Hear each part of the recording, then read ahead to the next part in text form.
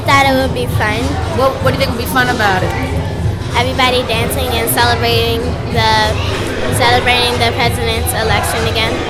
So, what do you know about President Obama inauguration?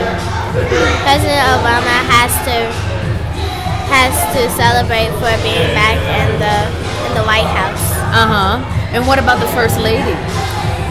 That she gets to dance with the with the president. And what about Malia and Sasha? They get to have fun too. They get to have fun too.